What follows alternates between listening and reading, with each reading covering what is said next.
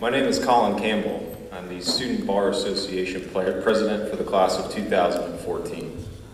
And as is tradition for law, I will begin with a traditional uh, court beginning. So may it please the faculty, fellow colleagues, visiting friends and family. It takes just a quick look around for me to realize that in the audience and on the stage, that I am the by far least qualified person to speak to you today. I am not a uh, magna cum laude. I am simply and humbly your Student Bar Association president. So believe me when I say I thank God for His grace. And it is truly an honor to get to stand here and speak to you today. So, to my fellow colleagues, congratulations. Your hard work and accomplishment has paid off. And I am so glad that today we get to celebrate your achievements. To visiting friends and family, congratulations. I am so glad that today we get to celebrate your accomplishment and your achievements through your students, through your friends, and through your sons and daughters. My speech is supposed to be about reflections, and it, that's actually a difficult thing to do. I don't normally have a hard time coming up with things to say, but I realized that if I reflected too specifically, this speech would just be about some inside jokes that only a handful of my friends would get, and everybody else would chuckle nervously along. If it's too general, I would run out of things to say. I mean, how often can you really say, it is what it is, roll tide?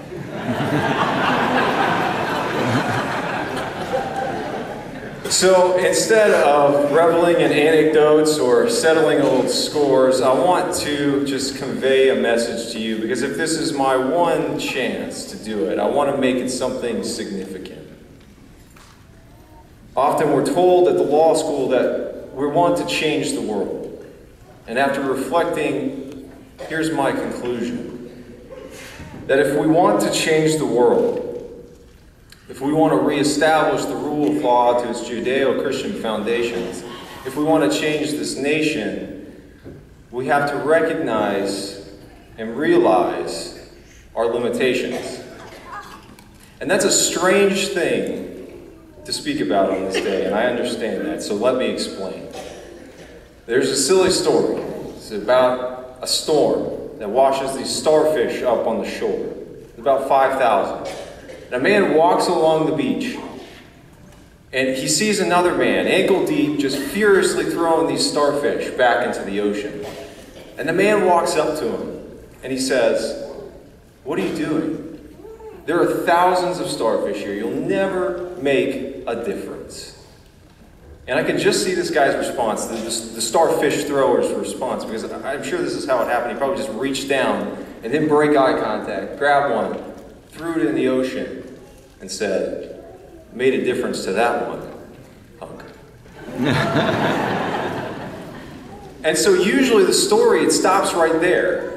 And the moral lesson that we draw from it is that one man can make a difference. I'm not here to tell you that that's not true. I believe that to be true. But because our mission is so big, because we truly want to change the world, we have to recognize our limitations and we have to draw that story to its logical conclusion. It's silly, but logical conclusion. Because if that man's goal was to empty the starfish back into the ocean. He did a very poor job. See, at the end of the day, probably when his rotator cuff had given out, there are still thousands of starfish dying on this beach. And what this man suffered from was a failure to innovate, a failure to pick his head up. He suffered from self righteousness. See, he didn't realize that there's probably some liberal group down the way that cares about starfish just as much as he does. And that if he just gets one person to help him, his efforts are doubled. My point is that our starfish thrower walks away from his work thinking that he's done a job well done when he didn't.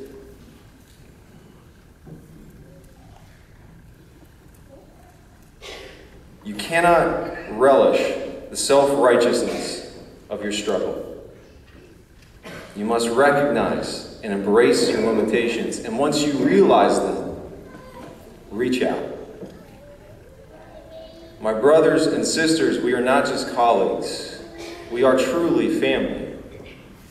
And when we reach out into that community, that's when we make change happen. My one prayer for you, for all of you, is that you realize that you are not alone. And that if you want to change the world, or maybe try something a little more manageable to start off, I want you to know that we are here for you. The Lord has brought us this far. He has formed this class. He has forged us together in the crucible of law school. And I am so excited about what we have done and what we will do in the future together. Thank you for letting me be a part of your class for these last three years. Thank you for letting me be your friend. And in the words of our illustrious classmates, at the end of the day, it is what it is. Roll Tide.